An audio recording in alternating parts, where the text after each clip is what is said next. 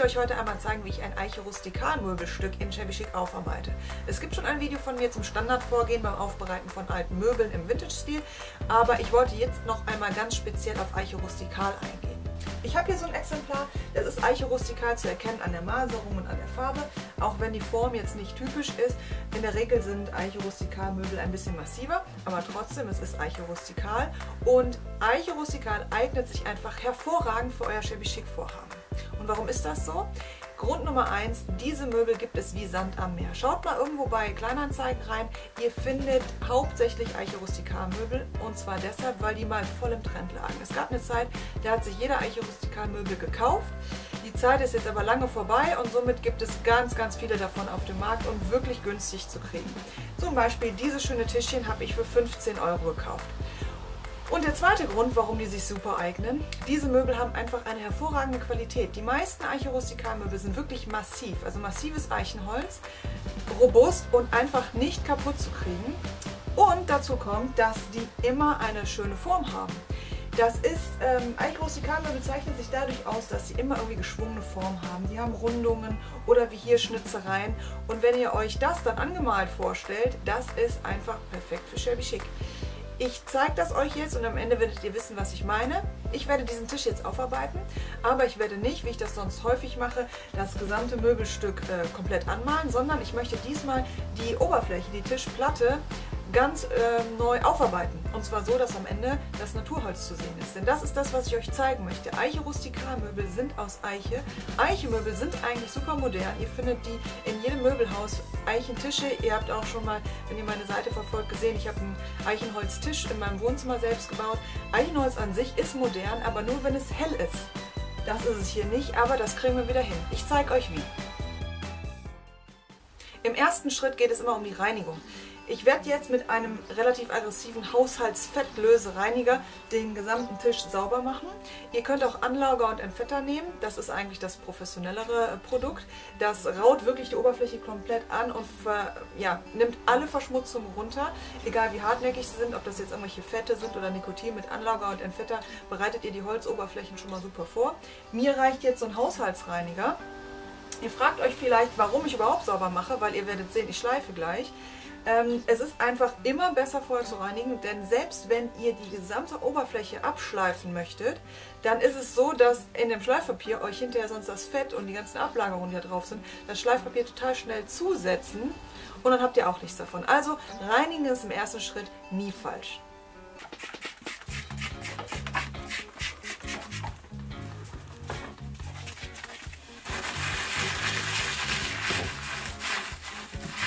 Ich arbeite jetzt auch wirklich mit der Scheuerseite, denn ich möchte ja wirklich alles runterkriegen, was auf der Oberfläche ist. Wenn ich jetzt hier drüber arbeite, dann komme ich natürlich nicht in die ganzen Ritzen rein. Das ist aber auch nicht tragisch, weil hinterher, wenn das Möbelstück angemalt ist und da ist Belastung drauf, dann geht ja keiner da rein und kratzt, sondern es ist ja wirklich nur auf den erhabenen Stellen. Und die erhabenen Stellen sind die, die ich ja jetzt richtig reinige, also alles gut.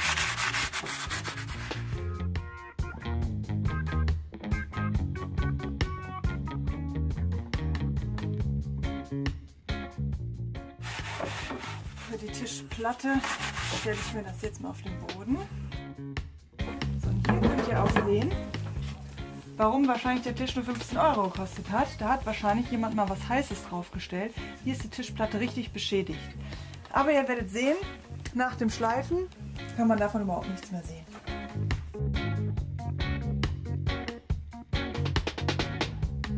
So, das soll mir so auch schon genügen.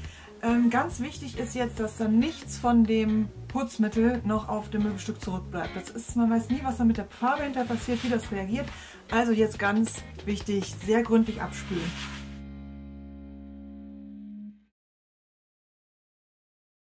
So, mein Tischchen ist jetzt ähm, gesäubert und getrocknet und jetzt kann es mit dem Anschleifen weitergehen. Hier für den unteren Teil mache ich das genauso wie eigentlich immer, dass ich nur ganz leicht anraue. Also ich nehme eigentlich nicht wirklich was von der Oberfläche weg.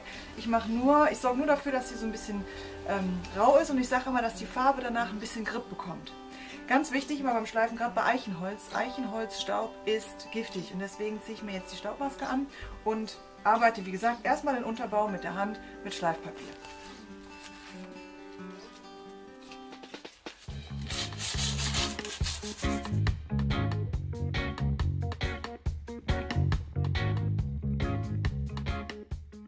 So, das Tischchen ist vom Unterbau jetzt hier perfekt vorbereitet, schön angeraut und angeschliffen. Ihr könnt hier sehen, die Lackierung, die ist anscheinend nur noch sehr dünn drauf, weil hier selbst durch das leichte Anschleifen ist hier schon fast das komplette blanke Eichenholz freigelegt. So, jetzt äh, widme ich mich der Tischplatte. Da muss ich jetzt aber mit schwererem Gerät ran, weil da das würde ich euch nicht empfehlen, das mit der Hand zu versuchen. Da seht ihr ewig dran. Ich nehme dafür so einen ähm, Akkuschleifer und ähm, dann hoffe ich, dass ich da relativ schnell durch die dicke Lackierung durchkomme und das schöne Eichenholz schnell freilegen kann. So, das ist also das Gerät, mit dem ich jetzt arbeite und spätestens jetzt ganz wichtig, Atemschutzmaske.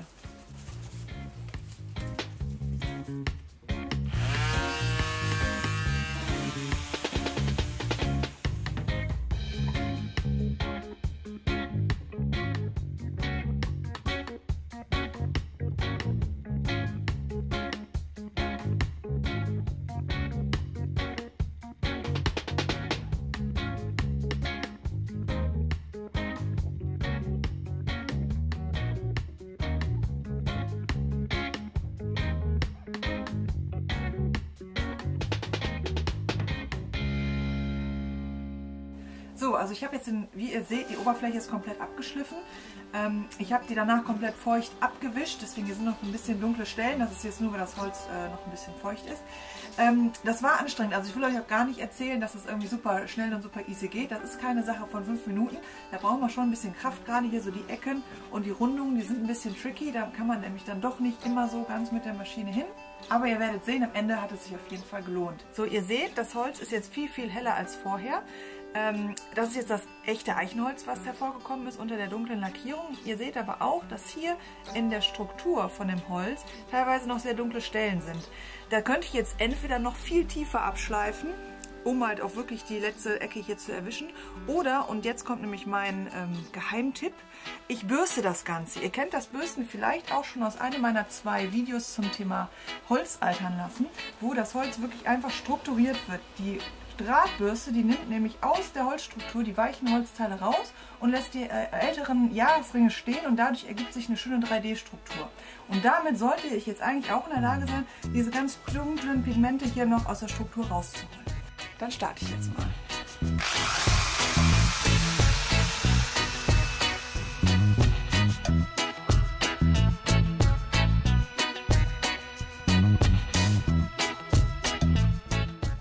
Ihr könnt hier jetzt sehen, was mit dem Holz passiert ist. Das ist jetzt überhaupt nicht mehr glatt. Und man kann richtig sehen, wie stellenweise wirklich entlang der Holzmaserung die ja, Holzteile entfernt worden sind, die anscheinend dann nicht so hart waren wie der Rest. Die Pigmente, die restlichen Lackpigmente sind auch alle, zumindest fast alle weg. Und es gefällt mir so jetzt schon ganz gut. Jetzt ist die Oberfläche natürlich auch noch sehr rau. Also das jetzt so als fertige Möbeloberfläche fände ich jetzt nicht so gut. Deswegen habe ich jetzt hier noch ein ganz feines Schleifpapier. Und mit dem überarbeite ich den Tisch jetzt nochmal komplett, bis der schön glatt ist und sich schön anfühlt.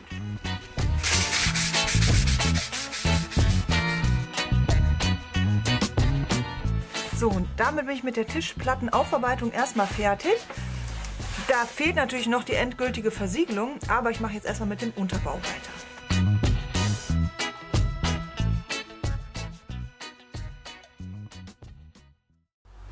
So, jetzt geht es also mit dem Unterbau weiter und jetzt ist es ganz wichtig zu grundieren. Ihr wisst, Eichenholz muss eigentlich immer grundiert werden. Eichenholz enthält nämlich viele Gerbsäuren und wenn ich mit Kreidefarbe später arbeite, dann würden diese Gerbsäuren mit der Kreidefarbe reagieren und dann wird es unschöne Flecken geben. Und das kann man nur vermeiden, indem man eine Grundierung verwendet mit Sperrwirkung ähm, und die schließt dann eben diese Holzinhaltsstoffe ein und dann kann man hinterher gefahrlos mit der weiteren Farbe weitermachen. Ich arbeite jetzt heute mit einem äh, Shellac. Das ist schon fertig angerührt. Gibt es auch als äh, Plättchen. Die Shellac-Plättchen muss man sich dann selber in Ethanol auflösen und das Ganze also fertig selbst anmischen. Ich habe es jetzt hier fertig gekauft, ist ein bisschen praktischer. Und damit werde ich jetzt den gesamten Unterbau grundieren. Wie ihr seht, das ist super flüssig, das ist fast wie Wasser und dadurch geht das Ganze auch super schnell. So ist das in der Regel auch viel schneller trocken als äh, jede andere Grundierung, die man so kaufen kann.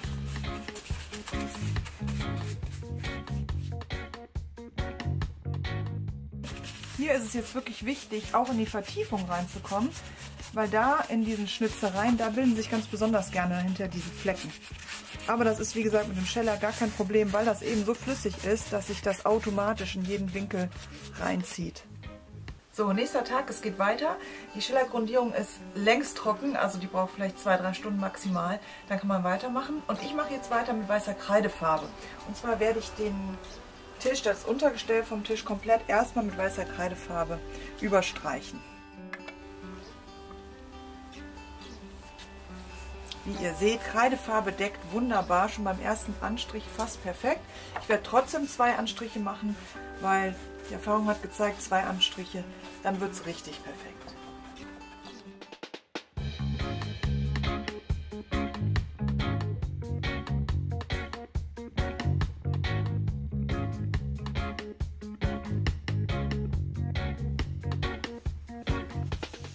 So, der erste Anstrich ist jetzt getrocknet, also so weit, dass ich nochmal drüber gehen kann, weil ihr seht, so richtig deckend ist das nicht. Das deckt ganz gut, aber perfekt ist es nicht. Und deshalb mache ich eigentlich immer zwei Anstriche. Ihr seht schon jetzt, danach wird es wirklich perfekt aussehen.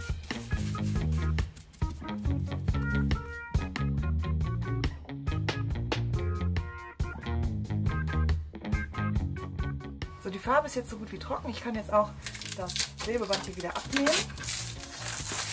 brauche ich jetzt nicht mehr. Rein theoretisch wäre der Tisch jetzt schon fertig. Ähm, mir ist er aber noch ein bisschen zu langweilig, einfach nur weiß, ähm, das reicht mir nicht. Ich möchte jetzt gerne mit zwei Farben, die habe ich mir hingestellt, so ein bisschen Applikation herausarbeiten. dafür arbeite ich mit einem ganz kleinen Pinsel, damit ich das besser dosieren kann. Und jetzt überlege ich mir, wie ich da, ich habe eine hellere Farbe und eine dunklere, wie ich das jetzt hier so verteilen kann, dass es am Ende auch nett aussieht.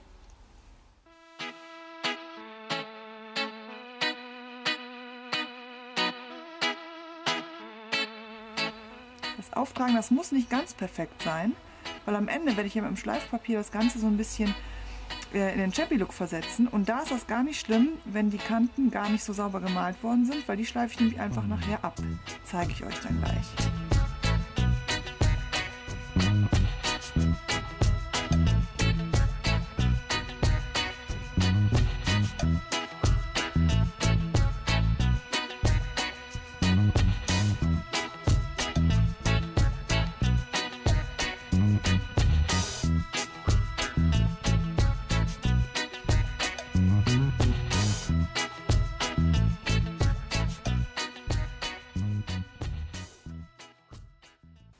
Die Applikationen sind jetzt fertig. Ich habe die wirklich nur ganz grob aufgemalt. Während die jetzt trocknen, widme ich mich jetzt wieder der Tischplatte. So, ich mache jetzt die Endbearbeitung von der Tischplatte. Ich habe die ja strukturiert, das heißt, ich habe hier eine, ähm, ja, eine tiefe Struktur erzeugt und die eignet sich jetzt ganz hervorragend für einen Whitewash-Effekt. Und zwar habe ich hier weißes Möbelwachs, das ist Kalkwachs. Und das arbeite ich jetzt mit einem fusselfreien Lappen einfach ganz tief in die Struktur ein. Und dann wird die ganze Arbeitsplatte nämlich hier oben nochmal heller wird betont und vor allen Dingen wird die Struktur betont. Ihr könnt das hier super sehen, wie das Wachs in den Vertiefungen richtig schön zurückbleibt. So eine Whitewash-Optik bekommt man auch nur auf rohem Holz hin und je gröber die Struktur von dem Holz, je mehr die Maserung herausgearbeitet ist, desto stärker ist dann auch der Whitewash-Effekt. Das mache ich jetzt auf der gesamten Platte und dann wirkt die insgesamt viel heller und vor allen Dingen viel lebendiger.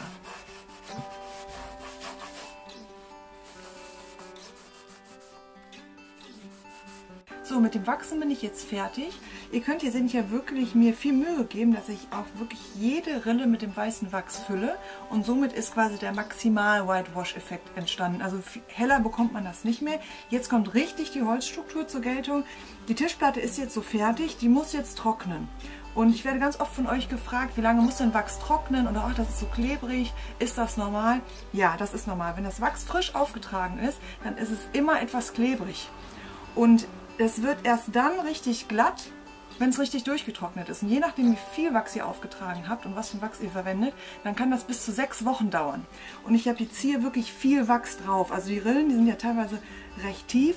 Da ist jetzt viel Masse drin. Also ich stelle mich jetzt darauf ein, dass ich eigentlich so die nächsten sechs Wochen mit der Tischoberfläche nicht so viel machen sollte, damit ich eben sicher sein kann, dass ich da nicht äh, nochmal was von der Optik verändere. Wenn ihr auch einen Tisch aufarbeiten wollt, dann kann ich euch wirklich dringend ans Herz legen, auch über das Wachsen nachzudenken, anstatt von äh, überstreichen, also zu lackieren. Der Vorteil, der Riesenvorteil von Wachs ist nämlich, hier kann nichts absplittern. Das heißt, wenn der Tisch benutzt wird und er bekommt seine Macken, dann kann ich hinterher ganz einfach mit dem weißen Wachs nochmal mit dem Lappen kommen und kann stellenweise ausbessern. Das geht mit dem Lack nicht. Wenn Lack einmal abgesplittert ist, da kann man eben nicht mal eben so die Stellen ausbessern und dann sieht alles wieder schön aus. Dann muss der ganze Lack wieder runter und man muss neu streichen. Also Wachs ist wirklich pflegeleichter, äh, was Langlebigkeit angeht, auf jeden Fall mehr zu empfehlen als jede Art von Lack auf einem Holztisch oben drauf. Also denkt drüber nach, vielleicht ist das ja auch eine Alternative für euch. So, hier oben drauf bin ich also fertig und jetzt mache ich mit dem Unterbau weiter. Der braucht nämlich noch seinen Shabby Chic Finish. Nachdem jetzt auch die bunte Farbe auf den ähm, Verzierungen getrocknet ist, kann ich jetzt schleifen. Und zwar, ich nehme hier ein ganz relativ feines Sandpapier mit 120er Körner und ich gehe da jetzt einfach über erhabene Stellen. Und hier könnt ihr jetzt sehen, warum das überhaupt nicht wichtig ist, dass ihr genau malt. Hier jetzt denkt man ja, das ist nicht so besonders schön gelungen. Hier ist einfach ein bisschen ausgefranst. Aber wenn ich jetzt hier mit dem Schleifpapier rübergehe, dann seht ihr, das kann am Ende kein Mensch mehr sehen, ob da ursprünglich mal schön gemalt worden ist oder nicht, weil am Ende ist es so oder so shabby. Das, was ihr jetzt hier sehen könnt, das ist der Multicolor-Effekt. Ihr habt die Farbe, die bunte, auf den Verzierungen. Wenn ihr das durchscheuert, dann kommt teilweise die weiße Farbe wieder hervor und aber auch das Holz darunter.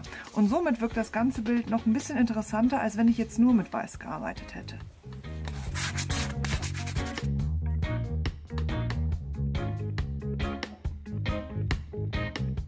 Mit dem Schleifen bin ich jetzt fertig. Ich habe abgestaubt. Das Einzige, was jetzt noch fehlt, ist eine Versiegelung. Kreidefarbe ist sehr empfindlich und muss immer versiegelt werden und das mache ich jetzt mit Möbelwachs. Dabei nehme ich jetzt aber nicht weißes Möbelwachs, so wie ich das hier auf der Tischplatte gemacht habe, sondern ich nehme farbloses, damit einfach ähm, es ein mattes Finish gibt, was man kaum sehen kann.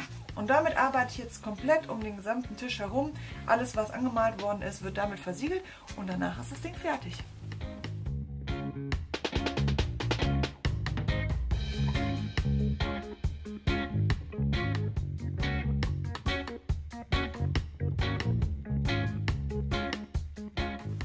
So, ich bin fertig mit dem Wachsen. Ähm, ihr seht, das Wachs hat die Optik von der Farbe kaum verändert. Das ist ein bisschen kräftiger geworden von der Farbgebung hier. Ähm, und es gibt einen ganz, ganz seidenmatten Schimmer. Also von Glanz kann man gar nicht sprechen. Also keine Angst, Wachs macht euer Möbelstück nicht glänzend. Es wird schön versiegelt und die matte Optik bleibt erhalten. Also ich finde, es hat sich gelohnt, die paar Stunden Arbeit zu investieren. Aus diesem Eiche Rustikal Möbelstück ist ein super schönes Einzelstück in Shabby Chic geworden. Also Leute, gebt den Eiche Rustikal Möbel eine Chance. Ihr könnt wirklich was daraus machen. Für noch mehr Tipps rund um Materialien und Techniken besucht gerne meine Webseite www.shabbyityourself.de. Da findet ihr noch viel mehr Projekte und folgt mir gerne auch auf Facebook und auf Instagram. Bis zum nächsten Mal.